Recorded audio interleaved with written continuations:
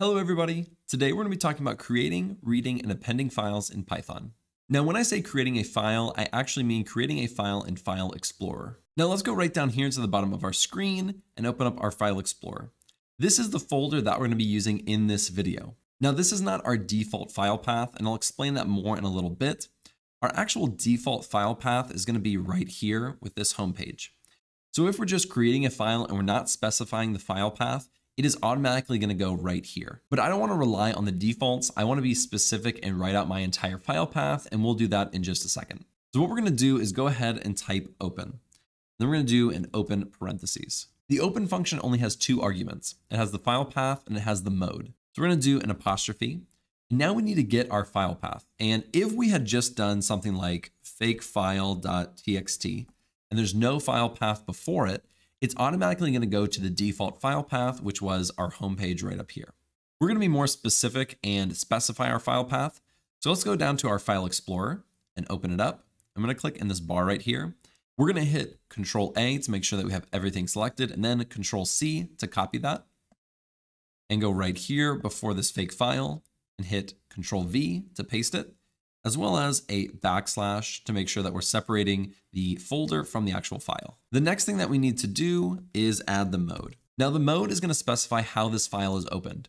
Within the mode argument, you can specify if you are creating a file, writing to a file, appending, or reading a file. So for what we're doing, we could put an X, which is going to say we are just creating a file and that's all it will do. And that would be perfectly fine to do, but we also want to write to this file. So if we put a W, it's going to create the file as well as allow us to write to it. So we're going to keep it as a W. And then we're going to assign this to a variable, and we're just going to say write underscore file equals, and then this is our entire statement to write to this file. Now, really quickly, I'm going to run this and it's going to fail. And this is probably something that a lot of you guys have experienced if you've ever tried to do something like this. Let's go ahead and click Shift Enter. And here is our error right here. And I have seen this error a thousand times. All you have to do in order to get rid of this error and fix it is put an R right here before your string. Now what the R does is it's going to read in this string as a raw text. Instead of interpreting these backslashes and colons and periods, it just reads it as a raw text as your file path. So let's go ahead and let's run this again. We're going to hit Shift Enter. And now we have opened that file. So let's go right down here to our File Explorer. Let's hit refresh.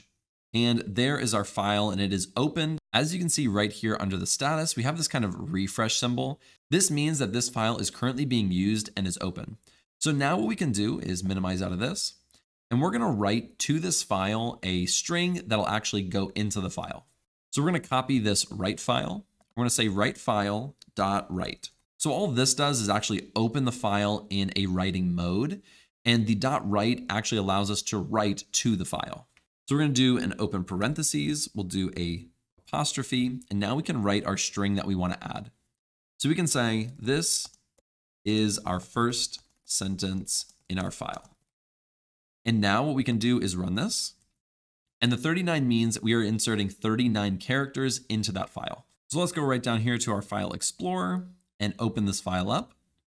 And as you can see, our text was actually inserted into this file. I'm actually going to bring this over here just so that it's easier to see throughout the video. So let's exit out of it. Let's minimize this. Now, something that's really important is actually closing out a file when you open it. So right up here, we have it open in a write mode.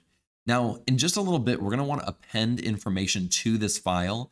But if we already have it open in the write mode, that may cause issues. So all we're going to do is do write file dot close in an open parentheses, and then we're going to run this and it will actually close down the file. Let's hit shift enter.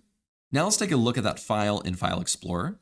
And as you can see, the status is a check mark, which means it's no longer open. Let's get out of this. And now let's append more data to this file. Let's go right up here. Let's copy this entire thing. We're going to say A for append. And then we'll go append underscore file. So what this is going to do is now we're going to open this file again, except now we're doing it in an append mode, which means this is already an existing file that we are now going to write to. Let's copy this right here. We'll put it right underneath it. We'll say append.file because now when we open it, we're assigning it to this append file. So we'll do append file.write and we'll say this is our second. We'll do a space because I want a space in between the sentences. And then we'll add this close right here. And we'll do append file. So all in one cell, we're going to open the file, write to this file, and then we'll close the file. Let's go ahead and run this. And now let's go look at our file. So as you can see, it was opened. And let's just refresh it to make sure. And as you can see, we have added the second sentence with our space in between it. Now let's get out of there.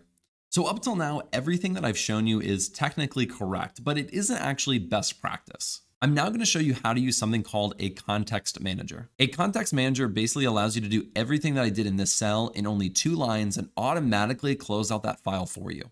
So now we're going to actually append a little bit more information to this file before we start reading it into Python and not having to open up the file every time. So let's copy this. And with a context manager, the keyword with specifies that we are creating this context manager. So with this open file, We'll say as, and we'll use append file again, as append file. Then we're going to do a colon. We'll hit enter, and it should auto indent for us. And then we're going to say append file dot write. And then we'll do a backslash n. This is our third sentence in our file on a new line. And this backslash n is just going to basically hit enter in our file and create a new line and then append this data to that new line. Let's go ahead and run this. And after we're done, we won't have to say append file.close like we did up here. It's going to automatically do that for us. And as you can see, it's just a little bit cleaner. It has it indented, and so you can more easily read this, especially if you have a lot of code.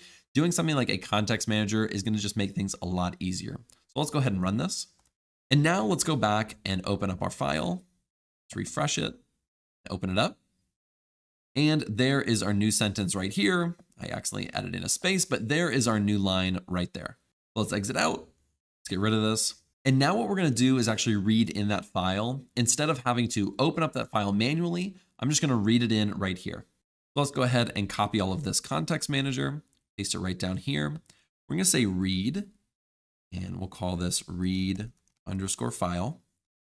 And we'll copy this down here. Now we're not writing to it. Now we're just reading it. So we're going to say read and an open parentheses.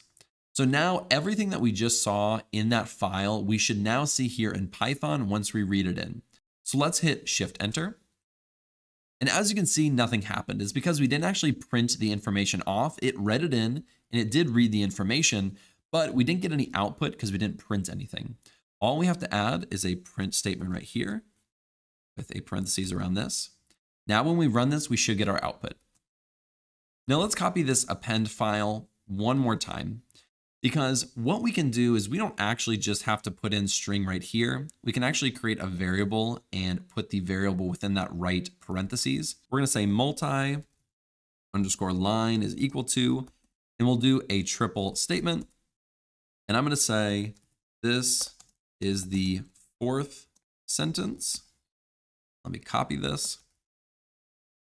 We'll say fifth and sixth. Uh, just capitalized to keep it consistent. Now we can copy this multi-line variable and we're going to put it right in here. And now we can write to this as well instead of just writing an actual string in there. So let's do shift enter. And now let's read in that file again. So as you can see, it worked properly. And that really is the nuts and bolts, the meat and potatoes of creating, reading, and appending files in Python. I hope that this was helpful. I hope that you learned something. If you did, be sure to like and subscribe below, and I will see you in the next video.